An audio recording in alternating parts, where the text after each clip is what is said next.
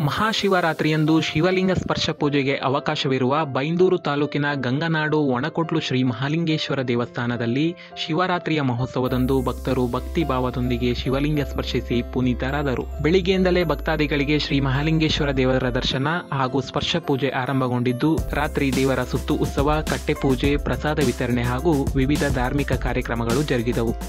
ಗರ್ಭಗುಡಿಯೊಳಕ್ಕೆ ತೆರಳಿ ಶಿವಲಿಂಗ ಸ್ಪರ್ಶಿಸುವ ಭಕ್ತರಿಗೆ ದೇವಳದ ಕೆರೆಯಲ್ಲಿ ಸ್ನಾನ ಮಾಡುವುದು ಕಡ್ಡಾಯವಾದ್ದರಿಂದ ಮಹಿಳೆಯರು ಹಾಗೂ ಪುರುಷರಿಗೆ ಪ್ರತ್ಯೇಕ ಸ್ನಾನಗೃಹ ನಿರ್ಮಿಸಲಾಗಿತ್ತು.